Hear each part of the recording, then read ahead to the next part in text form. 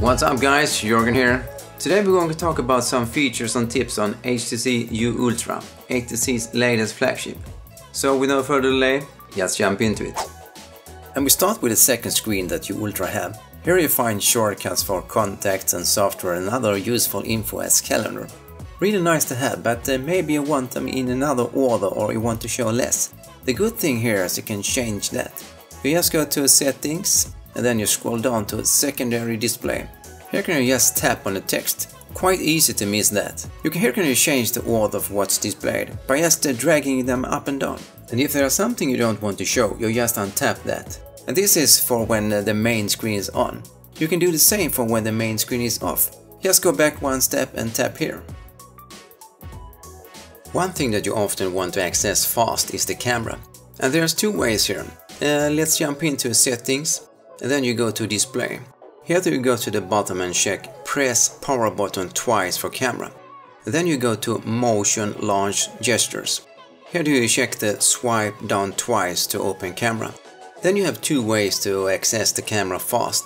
That can be really useful to have sometimes. Boost Plus is a software that comes with the phone for optimizing the memory. But there is a good safety function in the app for locking apps. Quite good if you have children or other using your phone. In app you go to lock apps. The first time you have a set a pattern and then you can unlock it with a pattern or use the fingerprint scanner. Then you can lock apps that you want to secure. When you don't start the app you locked, you have to open it with a pattern or the fingerprint scanner. So a really good safety feature here for securing your phone. If you're one of those who want to have room for icons and like them smaller on the screen, can resize items so to get smaller? Then you go to settings and display. Then you go down to display size. Here can you make things bigger or smaller. Let's try smaller here. And then you press the home key. Then their icons are updated to a smaller size here. But you can have them bigger too. It's all about taste here. S and space. As you can have less icons on the biggest size. And now we're talking about a screen, so do we have the navigation buttons. Default do they turn off quite fast if you don't use them.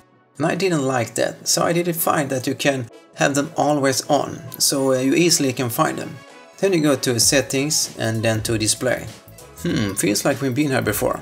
Well, down here again. Then you go to navigation button backlight. Set it to always on when the screen is on.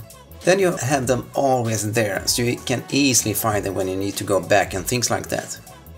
This was some of the features and tips that I found good to know, and I hope you have used for some of them.